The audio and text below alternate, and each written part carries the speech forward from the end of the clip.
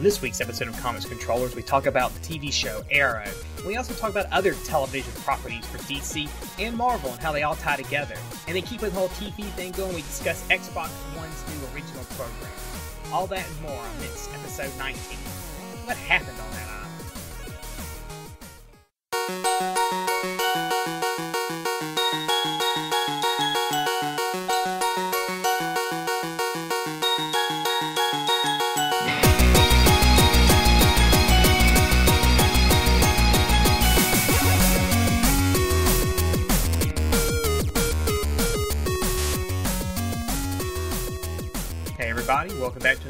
Comics Controllers. As always, I'm Kyle, joined by Stephen.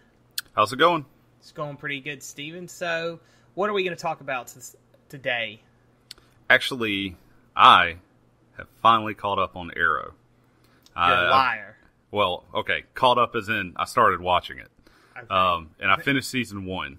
Yeah, you know, uh, season two's almost over. So I know, I know, and, and and I guess what I mean by caught up is I I, I got caught up in the excitement of the show. Um, okay. Because I, have I've really explain your it. lies however you want, Stephen. Yeah, I've really enjoyed it. Um, no, it, you're correct. I I unfortunately uh, misspoke there. There is a season two, and uh, I'm very eager to start it. But at this well, point, I think I'm going to wait until since I think you or somebody else told me they're uh, episode 18 or something like that now. So it's not. It yeah. shouldn't be too much longer.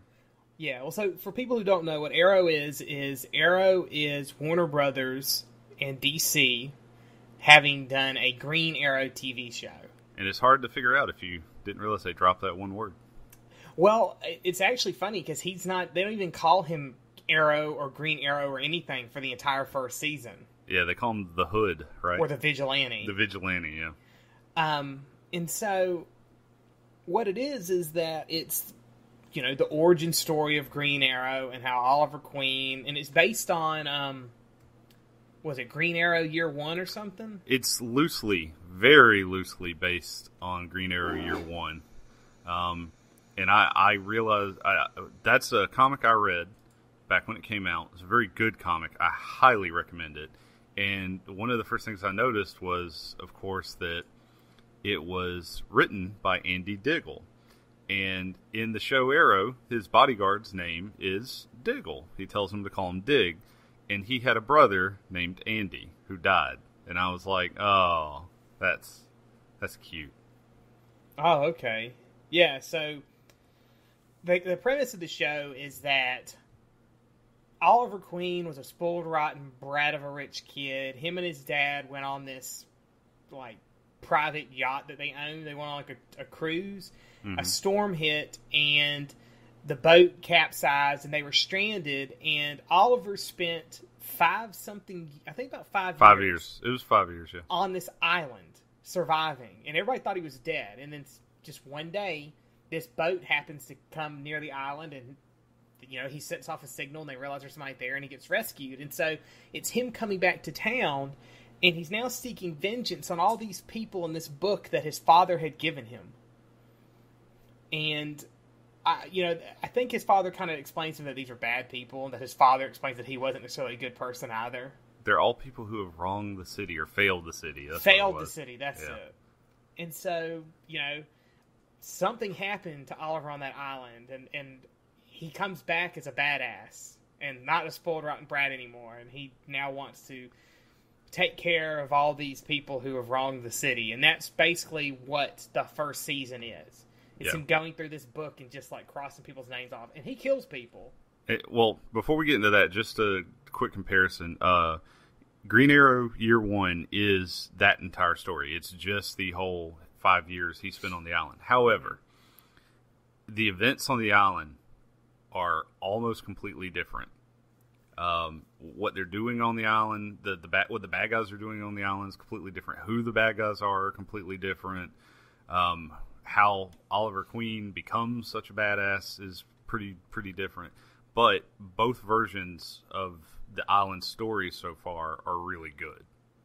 Yeah, I mean, there's a lot of characters from DC, not even main characters, but like little side characters that show up in the series, and and for the most part, it's usually just their names. So it's like, oh, I know, I've heard that name, and you look them up, you're like, oh yeah, that was a DC person in some comic, but they're not Yeah. like the actual characters. And sometimes it's not even that. Like with Count Vertigo, they just called him the Count, and uh, I think the drug that He was uh, selling a drug called Vertigo. Vertigo, and then the Royal Flush Gang episode, which is uh, one of my favorite, very minuscule C-list criminal organizations, because they existed in the comic books beforehand, but they really kind of came to prominence, I think, in Batman Beyond, which was like a future version of the Royal F- Flush Gang. hmm But that episode with them was really good. Yeah, and and so there's a there's a lot of drama in the series. So if you watch Agents of Shield, which we've talked about, Agents of Shield is very monster of the week kind of big superhero type stuff going on, even though they're not really superpower people. But Arrow is a lot darker and more drama based. I mean, the entire second season is just like one dramatic thing after another. Well, not to not to put a fine point on this, but it's on the CW. Yeah. and I I'm not knocking CW programming.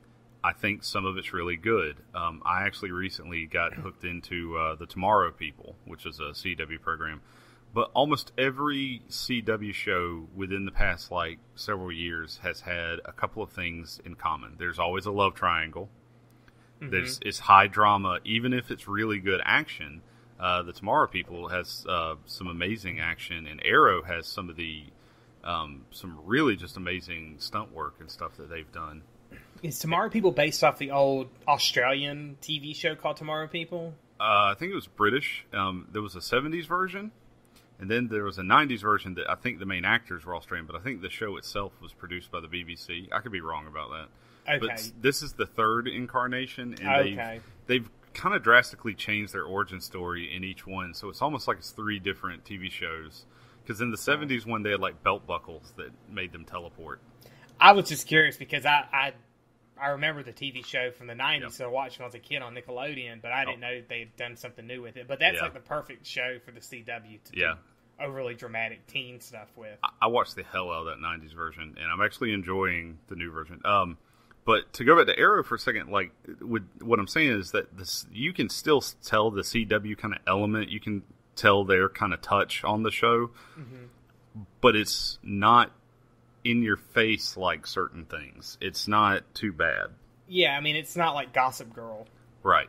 but I mean there there's that dramatic level, and there's like the everybody has some kind of little love thing with them. Either they're in love with somebody who can't love them, or they can't love them for a reason, or there's a love triangle with them, or something going on. And they have like the young person who's the teen that they added, who she's not part of like the actual DC canon stuff for Arrow, Green Arrow, but she's been added to it for the Well, she- show. Yeah, she is a DC character, but she had nothing. combination of DC characters. Yeah, she had nothing to do with uh, Green Arrow, from what I could tell, until Yeah. the new Fifty Two. Um, but like her, they completely, like you said, they her character looks like they mix and match because it's nothing like the actual DC write up for her. Which character are you talking about? Uh, the hacker. Uh, No, you're talking about Felicity. Yeah, I'm talking about Felicity. So there's Which a one are you character in there, Felicity, who is Yeah. like a hacker, and in the comics, she was A like businesswoman. She was like this crude businesswoman. And She Yeah. didn't even deal with Arrow. She dealt with somebody else. Like she wasn't a Green Arrow. Uh, like I said, I think in the new 52, she kind of becomes like a Justice League kind of deal. So she deals with a, a lot of them. But yeah, See, I was referring to his sister. His sister Oh, doesn't yeah, yeah. exist. She's Right, actually a combination of people. that is true. Yeah. But they added this character of, you know, Oliver uh, Oliver King's or Queen's. I'm sorry, Oliver Queen's sister, Thea Queen. So she's like the young teenager. They kind of can do the teenager type stuff with her yeah. and have that kind of drama.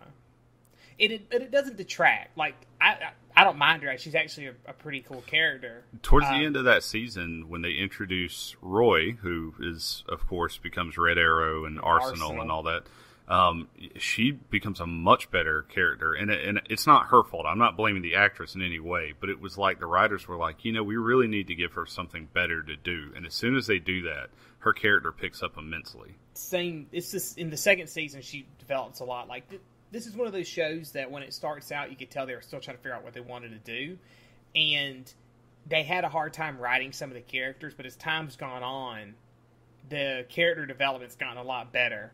Right. The my biggest problem with this show, and I, I know you mentioned this to me, and at the time it wasn't a problem, but it's it's gone on, it's gotten worse. But that island, Yeah. that he was on, every everything relates back to that island somehow. Somehow, the first yeah. two seasons. So, uh, you know, maybe that will change after the second season. But so far, everything always relates back to the island. Like something happened on the island. Actually, I read about three days ago where somebody asked one of the create one of the producers or the creator or something like that, and they said, "How many seasons will they be going back to the island?" And the guy's response was, "Well, Oliver Queen was on the island for five years." So you take that however you like, but that makes me think that if the show goes five seasons, then apparently that's how long they want to do island stuff. But I would, I hope that maybe after season two, things don't need to be directly related to the island so much. It, it, you know, some flashbacks are fine. A- actually, I'm not a flashback fan. Uh, in most television, I think flashbacks get in the way. I think most things that you you do in flashbacks could actually be done in present time with more creative writing. However, this show it, it's kind of part of its stick. So How would I- you do something uh, that should be a flashback, not as a flashback with more creative writing? Them just telling you what happened? That's not creative. That's boring. Well, not just simply in telling, but there are ways of showing without actually using, you know, speech. Um, a Like great a flashback. well, no, that's I mean, I don't understand. Not showing in that a way. Flashback without doing a flashback. Yeah. I'm really confused. uh, eventually you would have to. Um, okay, here's a great example. Take a show like Game of Thrones. okay, How many flashbacks has Game of Thrones had?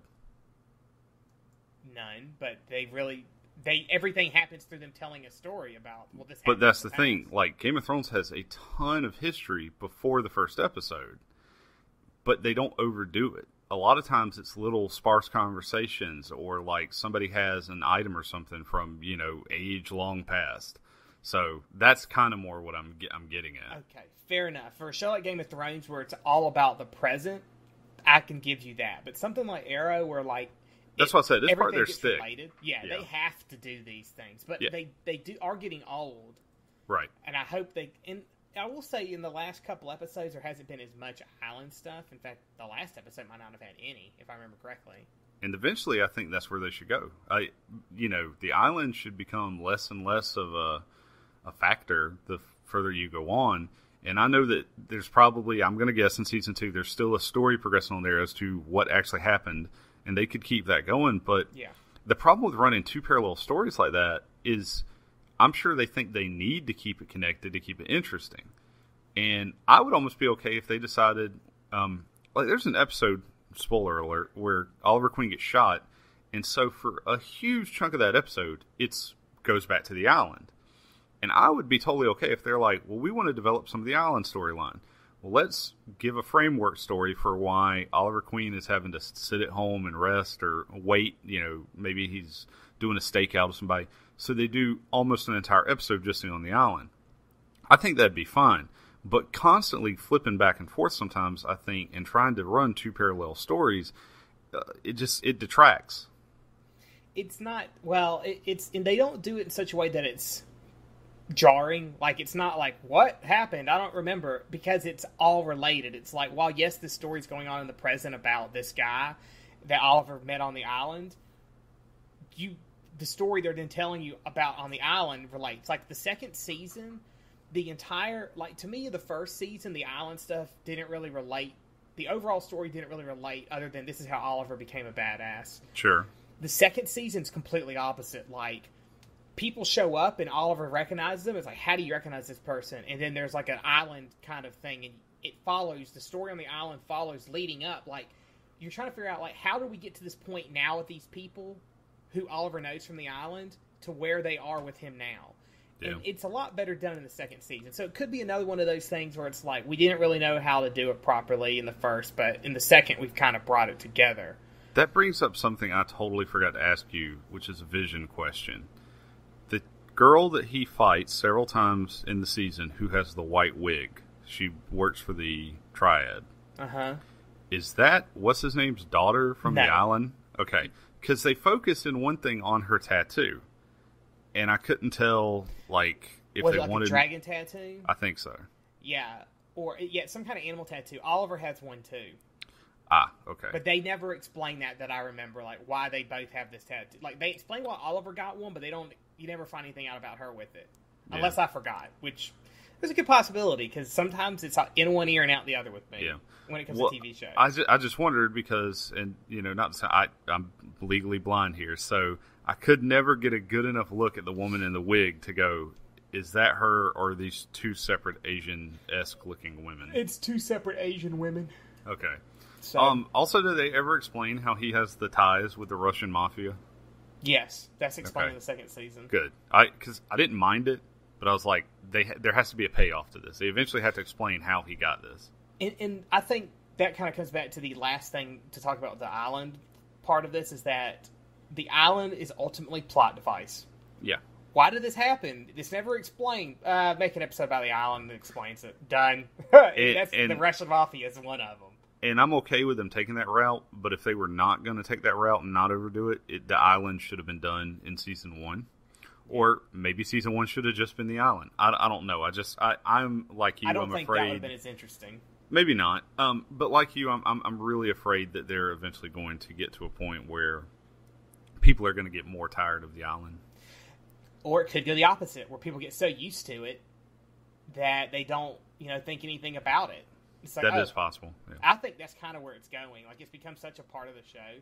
Yeah. That, or maybe they'll slowly phase it out where people won't realize it. Like maybe there'll be more and Yeah. more episodes that have less to do with it. It's with maybe the occasional, almost the entire episodes based on the island. Right, and I'd be I'd be totally cool with that. That that would actually probably be my preferred method. So, Um, to, along with Arrow, what Arrow's also done is that in the second season, it has Wally West. I isn't it Wally. West? Well, Yeah. actually, that was No, Barry, Barry Allen. Allen. That was Barry Sorry. Allen. Yeah, I've so many flashes. Barry Allen. so little time. Yeah, Barry Allen shows up, who's the original Flash, and um, you know, he actually finds out who Arrow is, and he leaves. But then something happens to him in the show, which you know, and then you never see him again. It's always kind of referred back to him. And we know now they're doing a Flash TV show. The CW is going to have a Flash show. I have a So- question: Yeah, Is the Flash going to be as violent as Arrow is? Because if so, I think it might might be good. I don't know. You, you mentioned this earlier. I just got to say real quick that Arrow straight up like there's one guy he shoots in the eye, and that guy survives. Okay, whatever. But there's so many times where Deadshot. yeah, there are so many times where he shoots people in the chest, and then like the next scene, the guy, the bad guy will be like, "He sent six of my men to the hospital," and I'm just like, "No, no, no. Two of those guys are dead at least. Well- that was a square shot." Well, you have to remember too. They're saying that like Oliver Queen's like this amazing marksman, so maybe Yes. he's just hitting them in like areas non, non-vital areas. Yeah. exactly because he, but he does kill people. He kills- He straight murders people in the first couple episodes, and then Yeah. because that's why the cops want him so bad. They're like, this dude's a murderer. Well, that's why I had a problem with him and that whole plot line with Huntress. Because he's sitting here like, "Hey, don't kill!" Like slapping her hand, like, "Bad girl, don't don't do that. Don't kill your hugely criminal father." Oh, let me go kill this other guy real quick. Because Exactly. in that three episode plot line with her or whatever, he straight up kills another person who found out. Yeah, his- but he gets called secret. out. Diggle calls He- him out on that. He does, and and Felicity too. yeah, I think Felicity calls him out too. You're right. But like, my thing is, it's really hard for me to take you seriously when you're telling this girl, you know. And I love Huntress as a character. I I I think they did a really good job with her, and I like this kind of grittier version of her because Huntress does sometimes lean towards That's being much more gray. But that's than- the actual Hunter story. I I mean, I know, but in most Batman, she is a good guy. She is, you know, she, that's why she Oh. actually. Well, that's how she is now. That's how she was originally. Well, that's that's what I was saying. I know that she leans a lot of times towards Yeah. more of a, a you know, a, a gray. I don't I don't think except in maybe it depending on how you look at it in um, uh, No Man's Land, she kind of was a bad guy for like a very brief time. But other than that, Because she I got kicked out of the Justice League at one point for killing somebody. oh, did see I didn't. I Yeah, didn't Batman was like, "Get the hell out." Yeah, but that was my point. I really like Huntress, and I like how they portrayed her in this, and I like this, you know, seeing this angle with her. But it was just really weird to have this version of Oliver Queen going, no, stop it, don't do that, and you're like, shut up, dude. You, you have no, you know, if Batman comes up and he wants to say this to her, that's Batman. But you are over here like jacking people just because they saw your face. Yeah, but so, and, and mentioning Huntress too, like DC is building up. It looks like their own TV thing because not only do they have Flash, but they have Gotham, Yeah, which is basically. But I don't think Gotham's set in the same. it it can't be one because of the time frame, but two also it's on a different network. Oh, okay. So it's it's probably not set, but like with Huntress, and they've also uh, there's also basically Black Canary shown up too. Yeah. They're setting up that they could possibly do another show on CW that would maybe be you know Birds of Prey or something else. I don't know. They haven't announced that. Flash is the only. They tried that already, man. Come on, let's not Yeah. let's not go through that again. But if there's anything we've learned from comic books and with TV and movies, they'll try the same franchise a hundred times yeah. until I'm they actually- make a good one. Yeah, and I'm not knocking it. Birds of Prey was not wretched. It was Yeah, just a, it was a it was a little ratchety. That's all it I'm was saying. horrible. when the clo- the big closing scene of the first e- season, that's all I saw, and it was done to t.A.T.u.'s. Single at the time, the Russian the Holy Russian girl crap, group I that called themselves that. that. said they were lesbians, but they really weren't lesbians. I, I think it was all the things she said was that was the closing fight scene was done of that song. I was like, I'm glad I didn't watch any of this show. This show was had to be bad if that was The- how this ended. The first episode of that show was really decent. I like it. It, it got me interested, and it Really kinda, decent. It, wow. it, it got worse as it What went the along. worst description ever for something. It's like, well, how do I look? You look really decent. Like, what the hell does that mean? It's better than decent. It's really decent. but but anyways, back to what I was saying. Like, we Yeah. see it looks like you know they're trying to set up maybe some kind of universe on CW, which that makes sense because CW is the Warner Brothers network, which Warner Right. Brothers owns DC. And then you were telling me that they just announced The Justice League movie. exactly, which Right. we know will tie into Superman or the new Man of Steel and Batman. Yeah, and, and I see what you're saying about them. They're making their own universe, and something that um, you know a friend mentioned to me at one point, and I, I've agreed with was I think DC has an opportunity to do kind of a reverse of what Marvel has done, where Marvel has made their universe and then is slowly trickling a little bits and pieces of it into their TV stuff.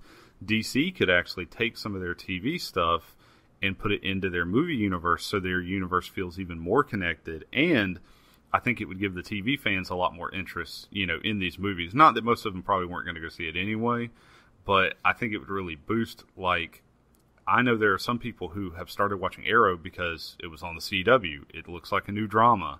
Then they're like, "Oh, it's about, you know, superheroes." And Yeah. can you imagine if um I think the guy's name is uh, Stephen Amell who plays Arrow. Um, it's Stephen spelled correctly, so that's why I remember that. And uh, he could pop up in this Justice League movie. And I'm not saying he'd be a main character. I'm saying, you know, you have like a five or six minute little group scene and he shows up. I, th- I think you'd get a lot of interesting press off of that. It'd do a lot for the show.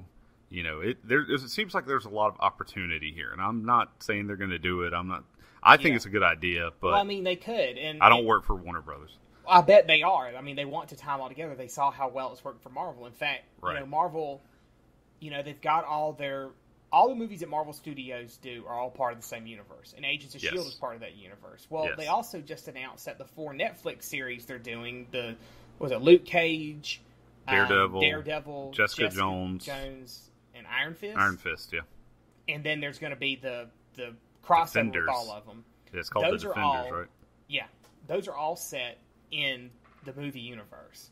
Uh, they're all set in New York City, it's like Hell's Kitchen, and it's supposed to be a much more street level view, which they haven't done in the universe Yeah, yet. which which is awesome. I think that was a really good idea. To hey, let's let's look at a part of the Marvel universe that we really have not explored with this franchise yet. yeah, and I mean they can't. This, the way the other characters that they would probably like to do movies with that they could explore that they can't because they don't own them. you know, they don't own the rights to their movie Yeah. stuff like Spider Man. Yeah, you know and like I, I still i know that they've been talking about writing the script forever and there's, it's not gone anywhere but they are really pumping for a stephen strange movie or something because He was mentioned in Captain America. He's been mentioned Yep. in Agents of Shield, Yep. and I think he was mentioned in another movie. Like just the name Steve, Stephen Strange or Doctor Strange and stuff like that. So they're really kind of pushing. His name was on something, I think. Like in one of the movies, like it, there was a big thing of files, Mm-hmm. and if you if you looked at one of the files, his name was Yeah. because it said Doctor Stephen Strange. Um, I agree. I know at one point they had uh, supposedly been talking to Viggo Mortensen about playing Doctor Strange, and that apparently fell through. And then there's bit, been a big rumor. I'm sure you heard that they one of the Mar. oh, okay, his name's like Kevin Feige, I think is how you say it. I apologize if I butchered your name, sir. He's the continuity guy for Marvel. He makes sure that all the Marvel um, movies, TV shows line up so that they feel like a single universe. His entire job, and he's pretty high up in Marvel Studios, um, is to make sure that everything works together in that universe. So if you know if somebody comes up with a new Captain America script, he has to make sure that not only does that script fit with what's been done so far, but it's not going to mess anybody else up. And then any movies that come after that, he has to make sure Captain America 3 is reflected in that. And that sounds like a really tough job. I can't imagine that that's an easy step. But at one point, he was very interested in talking to Johnny Depp about playing Doctor Strange. That'd be interesting. That would be interesting. And I know people trash on Depp sometimes for he makes some interesting movies, but Yeah, I mean he He- plays over he the top characters. yeah. so- but Doctor Strange is over top. it's kind of over the top. And and Doctor Strange, I think we've discussed this before, is going to be a very different movie when they get around to it. It's not going to be like most of the other, If it ever happens. yeah, if it ever happens. But I, I hope it does. I like the character. I would Yeah. definitely. I haven't read a ton of Doctor Strange. Most of the stuff I read Doctor Strange in is in stuff like Avengers or other group books, or is where he's the guest star in Spider Man. But I would love to see more with him. But yeah, and and but to to bring it back, you know, we see that DC's kind of got their universe they're starting, and now we know that they've got a movie, and we have a chance to see if they're going to try to tie these movies and stuff together with that. And then Marvel, that's what they they're doing, and I wouldn't doubt if that's DC's goal is to Yeah. have the TV shows and then maybe start trying to tie the movies together with some of the TV shows just so they can create this giant spanning universe that like Marvel does for its movies and TV stuff. Make it saw- one giant property. Yeah. And they have a better chance because they own the rights to all their stuff. They weren't Yes. like Marvel did and sold them all off. Yeah, they weren't looking for the quick, easy money. I, I have an interesting question for you because someone brought it up on Twitter the other day. Because it's looking like that Zack Snyder is going to direct the new Justice League movie. And someone actually said that they thought that Zack Snyder was a better director than Joss Whedon. And that the reason that Whedon, that Avengers was more successful than stuff like Man of Steel and will be more successful probably even still than the Justice League movie is because that Joss Whedon has people like Feige and uh, all this, you know, support behind him, where Warner Brothers, you know, isn't doing the same for their stuff. And I, I'm Yeah, just I curious. you- completely agree with that. okay, do you Josh think? Whedon's not really, despite what everybody who's a fan of Buffy and all that, like I love Buffy and all that, but Josh Whedon is very, like, when Josh Whedon does something, it's very obvious. He writes everything the same. Everybody's got quirky little snappy little. He- he has they his say to style, yeah. other. He's not a. gr- I mean, that was like one of his first movies he's really directed, anyways, wasn't it? Other than like the original Uh, Buffy. yeah, I was about to say. I mean, he's he directed Serenity. He directed the original Buffy. He he was a writer for a really long time. He was just That- doing writing. that movie had four or five other movies behind it pushing it to make it big. Right. Plus, it had all of Marvel pushing it. That's why. I mean, I'm not saying it wasn't a good movie because it was, but that's Yeah. why it would do better than the DC movies because you already have people hating on the Batman Superman, Superman, movie yeah. because of um, what's his face, Ben Affleck. Ben Affleck. Yeah. so that I- movie's probably going to be hated just because of that. I don't Well, care. I mean, That and they just crammed Cyborg also supposedly into that movie. Yeah. They announced I can't remember his name's like Ray Fisher. He's going to be playing Cyborg, Hmm. and uh, that's cool. I like Cyborg. I think Cyborg's a great character, but did that movie really need another cameo? yeah, I know. Um, but th- I guess that brings me to my question: Is most people I know like who like movies aren't usually big fans of Zack Snyder. You know, a lot of people say they didn't like the way the Watchmen movie was done, which I love the Watchmen movie, but a lot of people didn't like it. And you know, they say 300 was you know too stylistic or whatever. But I like S- Snyder's directing style. I think it really just depends on the person because a lot of people didn't like Watchmen not because of the way the movie was directed. They didn't like it because the changes that were made to it. Yeah, A lot of people well, didn't like Superman not because of the way it was directed, but because Superman killed broke people. some necks. Yeah, And so sometimes I don't think gotta it's kill Zod, man. yeah, I don't think it's so much the way he directs. It's so much the things he's done to characters that people don't like. Yeah. I don't That- think he's terrible, but be I don't really. I couldn't have told you who directed those movies. I didn't know he directed all of them. In fact, I just don't keep up with that stuff. It's not really important to Yeah, me. he also did Sucker Punch, which a lot of people had problems with. Oh, um, yeah, that movie was terrible. it, it's a great movie from a feminist perspective. How? I, Let's not get into that. I'm, I'm gonna. I'm gonna send mind. you some articles, okay? I probably won't read them, but you can Oh, send them. well, I'll, okay, whatever. But my point is, I I I agree, and I, I almost didn't at first. That comment that I saw caught me off guard because I think Joss Whedon is a good director, but like you said, he has a very distinct style. But I thought about that. Not just okay, so you had the other movies leading up to Avengers, right? Those obviously helped, no denying that. But also, just looking at how some of these people talk about the higher ups in Marvel Studios who are so determined to make these movies work, like Kevin Feige, like some of these other guys, What's his name? Uh, Av.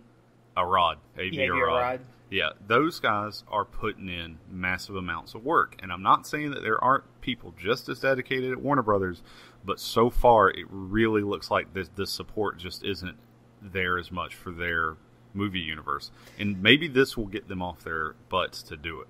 Yeah, I think just to kind of tie this up, I think Warner Brothers sees it more as we need to put mo- movies out to make money off our property because other comic book movies are coming out. We don't want to get left behind. While Marvel sees it as we're creating a whole nother branch of our company. Yeah. See, DC doesn't have to worry; they're owned by some conglomerate. Marvel's not. Well, Yeah. no, they are now. They're owned by Disney. They're owned by Disney now. Yeah, But see, they were doing this before Disney. I they I think that's what made Disney they started it interested. yeah they started it right before disney and pretty much like when it when everybody realized oh this is actually going to work that's when disney swooped down Yeah, and so I, I, I think we could see DC trying to do this, um, but I don't know how well it will work. They've got to really get some actors who want to stick with it and stay with it, and actors that people are okay with. So yeah um so speaking of tv shows you sent me a link okay, well bef- before we talk about this link, okay this is going to go for our video game side of things. Let's talk about an urban legend. okay i'm, I'm All right. excited let's go There's the there's the old legend that back I think it was the Atari 2600 oh yeah that Atari made the ET tie-in game for the movie.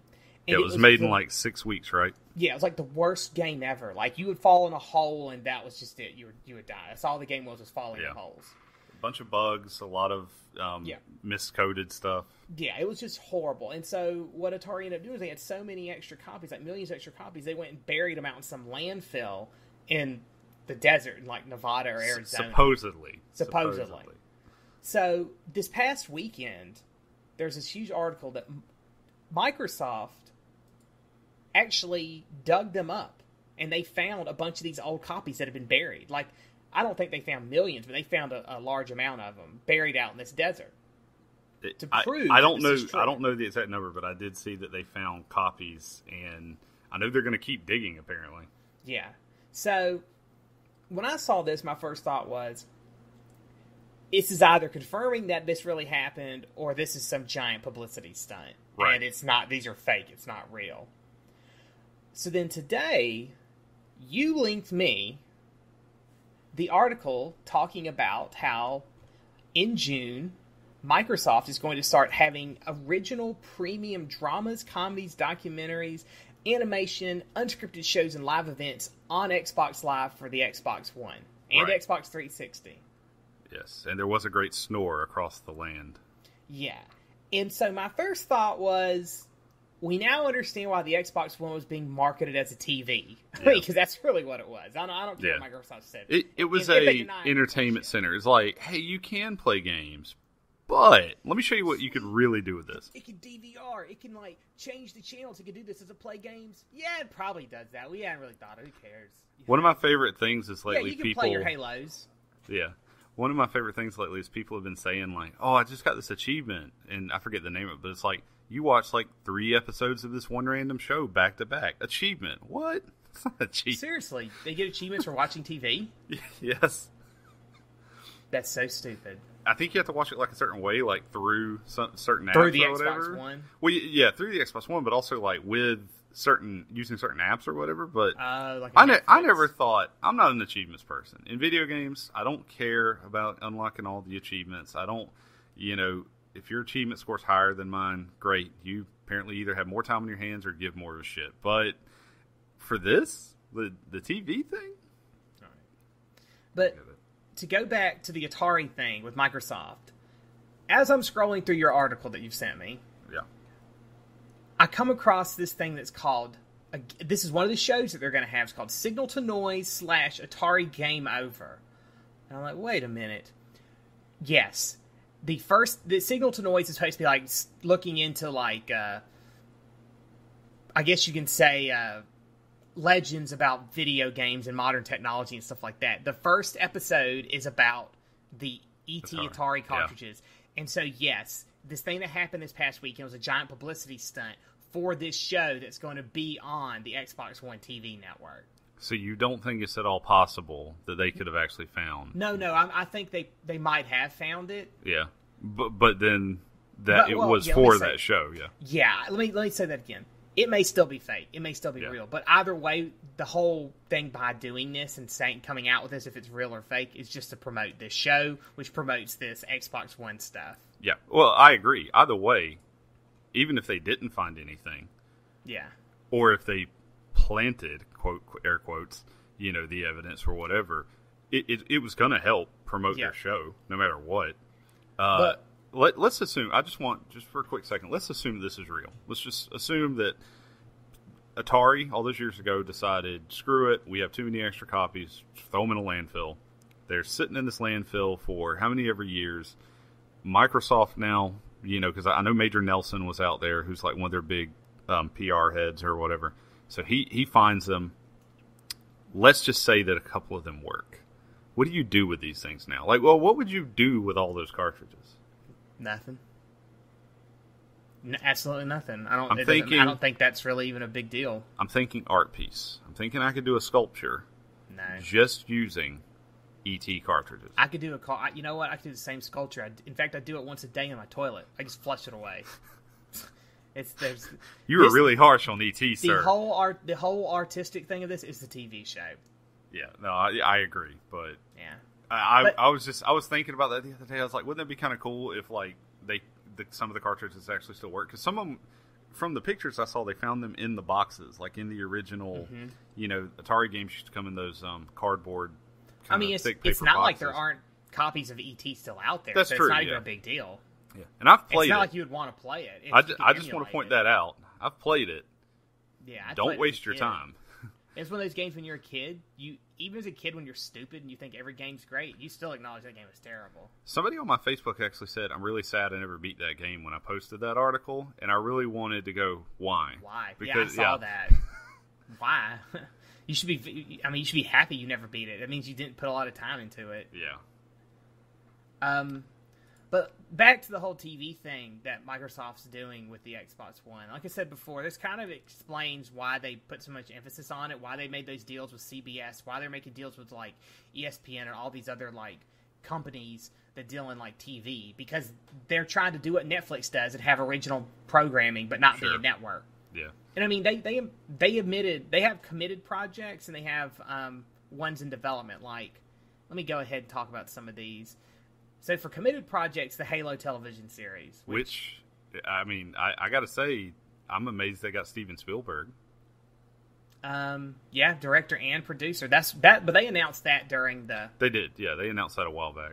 But I don't think they announced it was where it was going to be shown at. I think this is the first. Oh, it's going to be only on our thing. I, think most people figured that, but yeah, I, I mean, who knows? Well, they had the deals with CBS though. That's what I expected. It was to be some CBS show. Uh, because I think one of the people they brought over is a former CBS exec. They did, yeah, they did do that. I, I don't know. I, I, I always, and maybe this is just me assuming too much, but I always just figured it was just mm. going to be on the Xbox. Uh, so let's see what else. They've got a show that's going to be called Every Street United, which is going to be a show that's about. It takes two legendary soccer players, Thierry uh, Henry and Edgar Davids, and they basically are going around the world trying to find like this some kind of soccer prodigy on the street. So and they're I, all over the country. I thought that was a little like that sounds like an interesting show for people who really like soccer. I thought it was an odd show for them to do. I wasn't expecting mm. that, but that's, that's good. That that means they're willing to branch out. And well, it tie, it's going to tie into the World Cups this year. That's why. Ah, uh, there you go. And so it is also good job, Microsoft. Always looking yeah, for that in tying into the World Cup, and also probably tying into like trying to bring in more European purchasers. Sure. For the Xbox One. Then they're also doing things like uh, there's some they're gonna like show Bonnaroo, which is a music and arts festival. festival. Yeah, yeah, that will be shown on there. Um, but then they have some shows that are just things in development, like they haven't been confirmed. And one of them is Deadlands, which is based off of an old role playing series. I saw that, yeah. And, and, it's based like a Wild West story, but it's like a Wild West story. And what if all these crazy ghosts and demons and monsters existed in the West, and when people went out there, it got crazy? I've so, only played Deadlands once, but it's a really cool setting. So yeah, that that could be interesting. Um, then there's kind of tying it back into comic books. They have a looks like a mini series called Gun Machine, which is going to be based off of the book that comic writer Warren Ellis did last year or two years ago now, I think. Yeah, I, I haven't read that book, but anything by Warren Ellis, I'm willing to give a shot. It's pretty good. It's better than his first one he did. Uh, Crooked Little Vein. Crooked Little Vein. I see. I like that one. I that one I actually read. I enjoyed it. And then they also have one that's called Winter World that is based off of a series um, from Chuck Dixon and artist Jorge Zaffino's graphic novel by the same name. Chuck Dixon's pretty good too. Yep. So they've got stuff that they're trying to put on there. Um, but this might this might be a problem with the Xbox One. So that's cool. They've got this content they're trying to put out on there, yep. this custom stuff, and there's sound. There's some things that are very interesting. I ain't gonna buy an Xbox One to yeah. watch it. No, none of this makes me actually want to go out and buy an Xbox One. I have no more desire to go out and buy an Xbox One than I did two months ago. Now you can get them on Xbox 360 too, so it's not like you can only get them on the Xbox One, but you can get oh, it there also.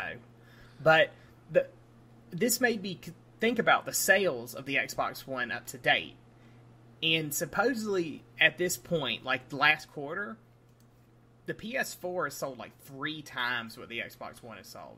Yeah, I didn't know it was three times, but I knew they were still ahead. Yeah, and it and that's that's not retail sales. That's consumer sales because those are two different numbers. Like you can sell as many as you want to a retailer, but if they're not reselling it, it doesn't really make a difference because they're not going to order anymore. Yeah, those are actual consumer sales, though.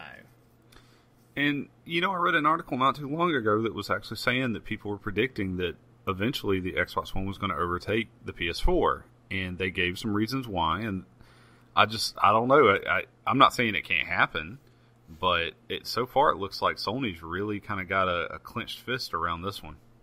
Yeah, and I mean, they barely actually sold more um, Xbox Ones than Xbox 360s. Somebody was telling me, uh, I think it it was this week. If you certain retailers, if you went and gate, you turned in a 360 or a PS uh, uh, three, you could get an Xbox One for four hundred dollars and somebody pointed out, or you could keep your P- PS3 Xbox 360 and just pay four hundred dollars for a PS4. yeah, you know, and I, I think this is one of those things that Microsoft was like, oh, we're going to roll this out, and maybe we'll get some more people to buy it, but. I don't think gamers really care about these TV shows and things on there. I don't really think this is what's going to make a gamer buy this device. Once again, they're marketing to the wrong group. They're marketing to people who are concerned about a, a TV. I mean, they're their idea is to expand their market to where not just gamers want the console. They want it to where gamers want the console and all these other people, like your mom, also wants the cons- console. It's However, too expensive for that. I, I, it's too expensive, and I, and I also just think that by doing that, they're going to, and it's not going to be a lot, but they're going to scare some of their actual gamer audience away. You know, I don't, I don't want to. That's cool that my console can play Blu-rays I don't want to watch TV through my console. I don't care. Yeah. Net, put Netflix on there, sure, it's fine. I can do that, but I don't know. It's it's like I said earlier. None of this actually made me any more excited to even consider buying an Xbox One. I mean, their hope is that what it's going to do is that these original programs are going to, you know, further push people to make the Xbox One their all-in-one entertainment device. And the reason they want that is because if you do all your entertainment through this, that means they control your living room, which means they control the ads, which means they can make more money on you and they can market to you the way they want. It's 1984 all over again. So, I mean, that that's what they want. I mean, they they you know, years ago they before the Xbox One was even announced, they patented a technology for the that worked with the uh, Kinect that basically could tell like facial like Yeah. if you were happy or sad or angry based on what was being played on the television. So that way they could market to you better because it was Yeah. all for advertising reasons. And- And I remember reading about that. And you know what actually scared me more than that? The Kinect. If you had like a poster for Coca Cola in your room, it could read the poster, and so they know like, oh, obviously we need to you know advertise more Coke products or advertise more whatever this person. I was like, my internet already tries to do that. Don't don't do that when I'm trying to game too. know? Yeah. Uh, Well, I mean- and it's it's bound to happen. It's it's going to happen. But Custom advertising in video games. I mean, Yeah. that has happened. Yeah, I I play the um, the wrestling games, um, WWE 2K13, 14, and one thing I've noticed is, um, you know, when they- they try to make it look like a real wrestling program.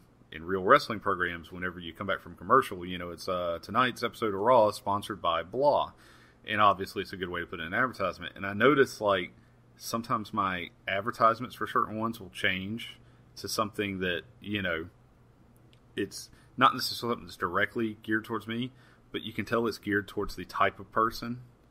Hmm It's I don't know. It's like you said. It's it's already happening. It's just it's really it's interesting. It's interesting and it's a little scary. Yeah, and this is just Microsoft's way of wanting to make it work better for them so they can make more money. Because I mean, that's all about advertising. Like if you're advertising something, and you know, you're you're, you're pushing something to your customer base. Like I don't know, you're trying to sell Depends to all these video game players. You're probably not going to work too well because I'm the majority of video game players don't need Depends. So Right. you need to figure out how, what you do want to market to them, and so that's all of marketing is figuring out what's the best thing and what are the best ads to sell. Because otherwise, if you know Depends bought ads and then they didn't see anybody buying it because of it, they're not going to give you any money in the future. Now, if you marketed a catheter so that I didn't have to stop playing Halo to get up and go piss, different story. That might I mean, work. Depends would work the same way. You just pee in your diapers. so much. I don't know which which one's less of a cleanup. at the They could of give you day. the Mountain Dew could Mountain could patent the new gamers uh, drink that came with a catheter, so you could just chug Mountain Dew and just never have to get up. Mountain Dew should take this a step further. They should make a drink for gamers that doesn't have to make you piss. Think about it. That's not really a It- drinking It issue. hits That's your more of like stomach and an it anatomical evaporates. thing. Yeah, that sounds dangerous. Drink this, and it'll just evaporate everything inside of you. Oh man! But Why so, do I have all this go. stomach acid? Uh, TV. That's that was what today's show is about. Was television. and and I am not against television. Obviously, I watch TV shows, but this just like I said, it didn't do anything for me. And honestly, you know, I, I know I know you and I have had this discussion before, but like advertising stuff, just sometimes when I realize they're trying too hard, it makes me want an item even less. Yeah. You know? The best ads are ones I don't realize are there. So the opposite of Facebook ads, basically, Yeah. because they're so obnoxiously there that it makes me hate. It makes me want to punch Mark Zuckerberg in the face. I'm like, God, Mark, I don't want this. I just want to punch you if I see you. That's how angry I get. You, I guarantee you're not the only one. Oh, I know I'm not. All right, well, I guess that's going to wrap it up for this episode of Comics Controller. So if you want to email us any stories or questions or things you'd like to hear us talk about, you can send them to comicsandcontrollers at gmail.com or you can post a comment in the YouTube video for it. Um, if you want to follow me, you can check me out on Twitter at Zombie Jesus here. Where can they check you out, Stephen? At uh, Stephen, spelled correctly, Wilds on Twitter. So S T E V E N. Wow. That is that is uh, completely inaccurate. No, it's uh, S T E P H E N W I L D S. And if you would like to argue how to spell Stephen, you can contact him directly. The Bible sides with me. That's all I'm gonna say. Let's not get into this I, discussion. I know. All right. So until next time, I'm Kyle. and I'm Stephen.